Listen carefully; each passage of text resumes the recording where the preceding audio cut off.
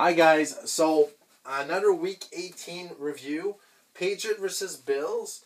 Um, the Bills beat the Patriots 35 to 23, so eliminate Patriots from the playoff.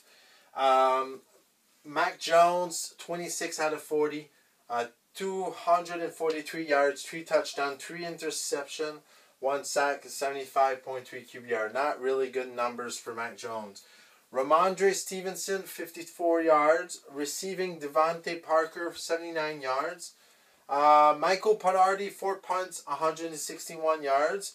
Devin McCartney had a McCarthy had a three tackles, two assists, one interception. Really good game for him. Josh Allen, 19 out of 31, 254 yards, three touchdown, one interception, two sacks with 106.1 QBR. James Cook, rush for 45 yards. Stefon Diggs, 104 yards, one touchdown. John Brown, 42 yards, one touchdown.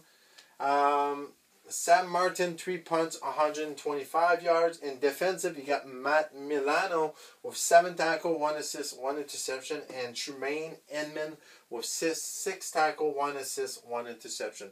For the Patriots, they're 8 and 9. They're going in off season.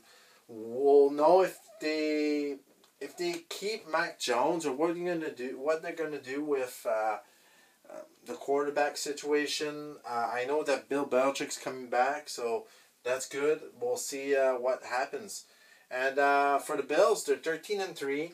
They play the Dolphins on the wild card weekends uh, this Sunday at two p.m. So we'll see if they can continue this good football and uh, yeah, so uh, let me know if you uh, you watch this game. Like and subscribe, and I'll see you soon. See you guys.